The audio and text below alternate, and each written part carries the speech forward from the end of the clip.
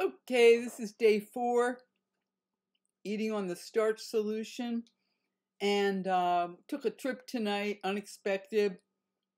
Gary went on Facebook Marketplace and he found a acetylene cutting torch that he wanted to buy, and it was like two hours away.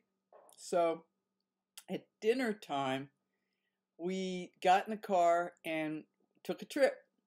And I packed really quickly because it was like we were it was on again off again. I packed i unpacked i packed and i took uh, i had made some like mexican beans and corn and rice and peppers and whatnot and i took some of that. I took some of my fat-free hummus and some of my flax fat-free flax crackers. I took a bai and um, just when we were taking off gary says well i'm going to get a coffee and i got some chai and it's I got it at the local gas station and it's not creamy, it's not sweet. So I took that and I drank that.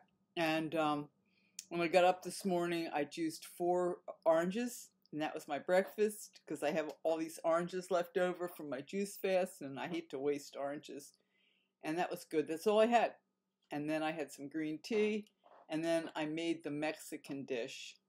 And when I it out onto my plate, I remembered to put a small portion on my plate. So that's why I had the leftovers for dinner.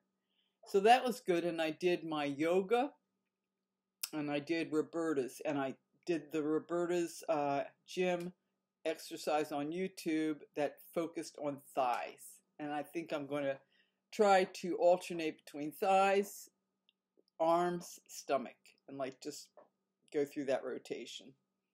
And my weight was good this morning. I had done an internal cleanse last night, which worked out very well. It was necessary. Uh, I try to do at least one after, if I'm doing a 10 day juice fast every 10 days, you know, it helps to get everything all cleansed. And um, I came in at 127, which is what I was at the end of the juice fast. And when I was um, driving with Gary, I felt like I wasn't hungry. I was satisfied. I would just nibble a little bit on, take a few bites of the Mexican dish, take a few bites of the um, flax crackers, and um, Gary got a shortbread with his coffee when he, he struck out. And Gary also has the ability to go long periods of time without eating. He has a different type of physiology than I have. And um, anyway, it was, I felt like I turned a corner, like I had listened to a video about um, addiction, like foods that are addictive. And once you get completely away from them, your body is not giving you those messages anymore. And that's what I felt like tonight. I felt like I had gotten away from all the trigger foods, including flour, you know, and um, of course sugar, and um, you know, just a host of other trigger foods and I was just eating on the right side of the fence, and I just felt like just eating. I'm just eating for hunger now, like just eating to sati- satiate society, satiation, and um, yeah. So I felt like I made up just a, truckload of progress, and um, I do have a goal. It's my goal, and um, I don't see why I, I won't be able to um, achieve it.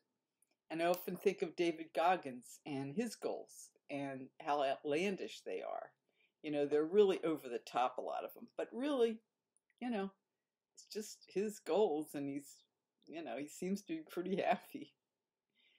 So, anyway, that's it. That's my day four eating on the starch solution wrap up.